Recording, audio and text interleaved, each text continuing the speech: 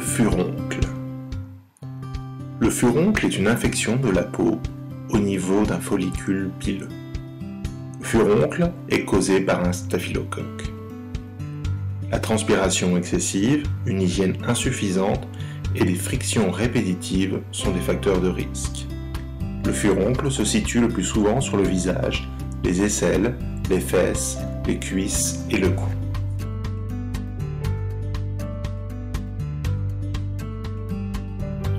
Le diagnostic repose sur l'examen du médecin. Aucun examen complémentaire n'est habituellement nécessaire. Le furoncle se manifeste par un bouton rouge, dur et douloureux. Ce bouton se transforme rapidement en pustule.